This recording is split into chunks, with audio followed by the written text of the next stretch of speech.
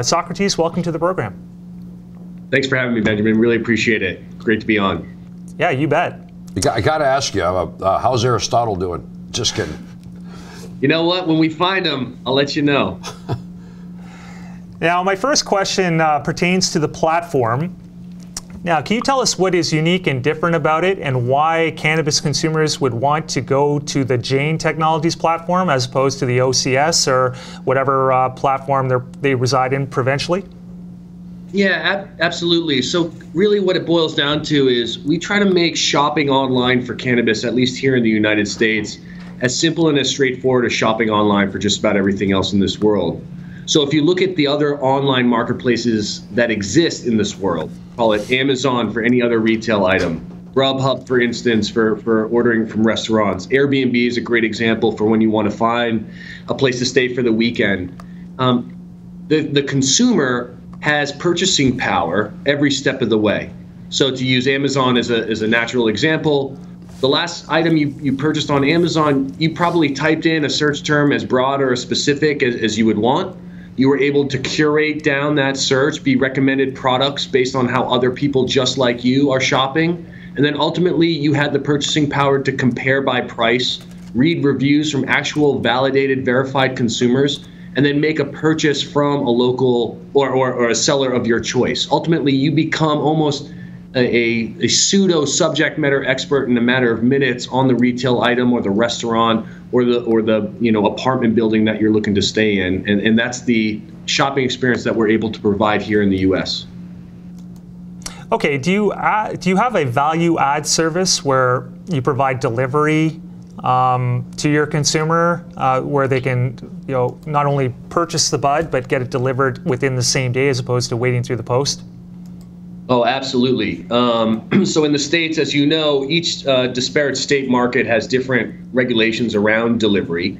Um, in a state like California, for instance, where delivery is available, what we do now is we enable brick and mortar stores to fulfill uh, the order via delivery. So we have fulfillment software that works with uh, other fleet management solutions. So again, it, it, just goes back to providing the consumer with as much optionality, with as much purchasing power as, as possible, so that if there is a consumer who says, hey, only show me the products that can actually get delivered to my home, we enable that. And um, just to be clear, we don't ourselves fulfill the last mile, meaning we don't have drivers that take the product and deliver it, but we certainly enable those brick and mortar dispensaries to fulfill where it's legal um, the the online orders that that want to be delivered to their home, and we do so uh, with relative ease.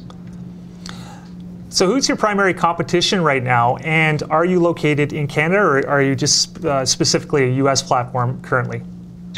Right now, we're, we're specifically in the United States. We're headquartered in um, Santa Cruz, California. Um, in terms of direct competition, there's there's really no direct competitor that we've come across. Meaning, there is no true online marketplace that allows the consumer to do a byproduct search and compare other like sellers against that single product. Um, that being said, obviously, those that are operating in the e-commerce space um, are ones that we consider to be indirect competitors and we segment the market in, in three separate ways. One, we, we call is the Yelp model.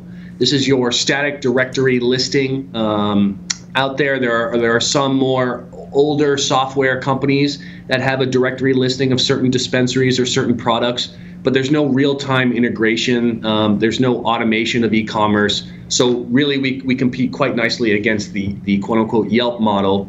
Um, the other model that we compete with quite well is um, what we call actually the Shopify model. And for that, really is you know if you think about what Shopify has has been done, it's a, it's a great company, and I know uh, it was founded up in up in Canada.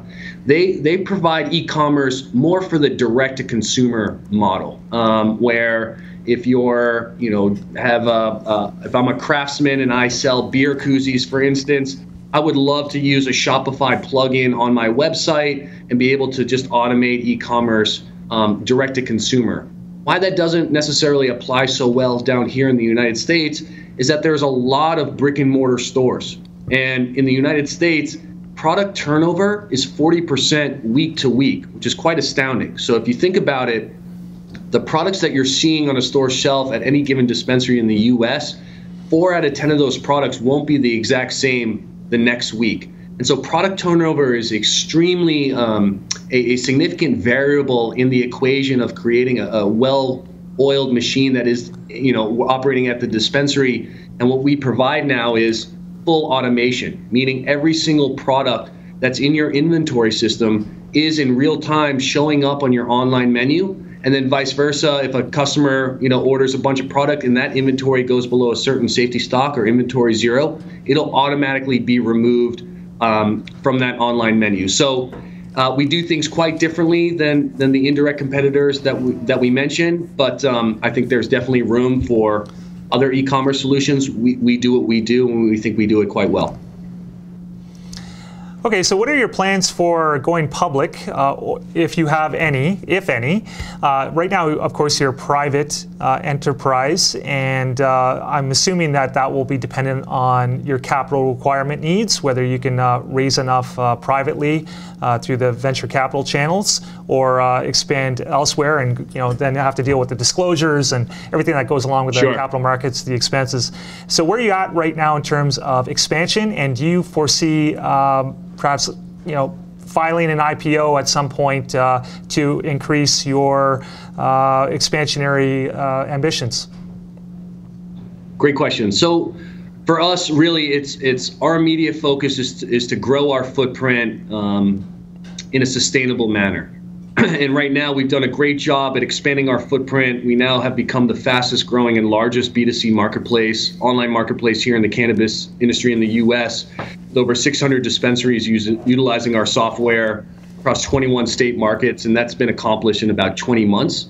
So right now we are built, and we consider ourselves as a fast growth tech company. Um, we have had no real need yet to, to go to the public markets. There's a uh, significant interest among the private investment base here in the US and, and, quite frankly globally interested in our software as it can scale in a very sustainable way and has proven um, to be successful so far, at least in the in the past 20 months.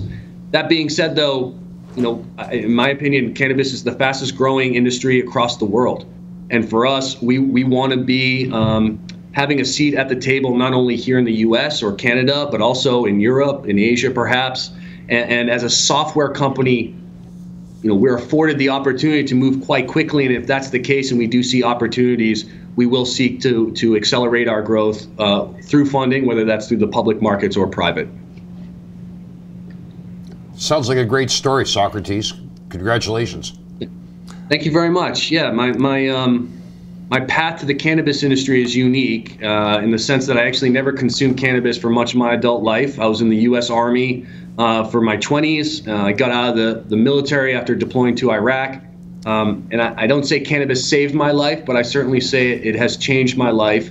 And after talking to so many of my military friends and, and, and, hearing very similar stories of how cannabis was able to help them, you know, we decided to go and build something that can provide safe, legitimate, accountable access to this plant and this product for others like me and, and, and others, hopefully, you know, in Canada and across the world. I think um, in Canada, they do an unbelievable job and one that here in the U.S. we're looking at to replicate, hopefully, of taking care of their veteran population and allowing them to have access to this medicine to help them reintegrate into society and, and heal. Very good.